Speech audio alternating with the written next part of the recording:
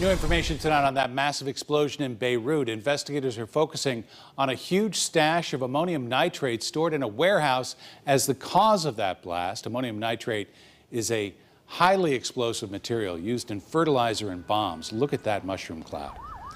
It was actually used in the Oklahoma City bombing.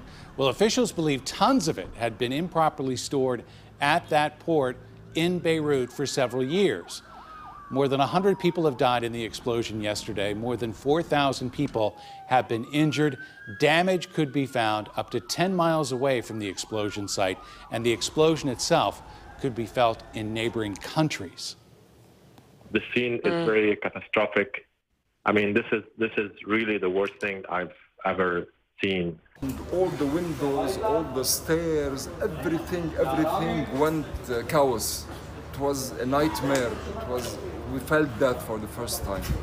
Lebanon's prime minister is pleading for international help and vowing a thorough investigation. Several countries are offering relief, donating money, sending in crews to help with recovery efforts.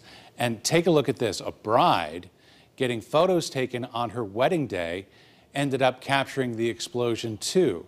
Now, the blast, there you see it, the impact of the blast blew her back and sent her photographer flying down the street.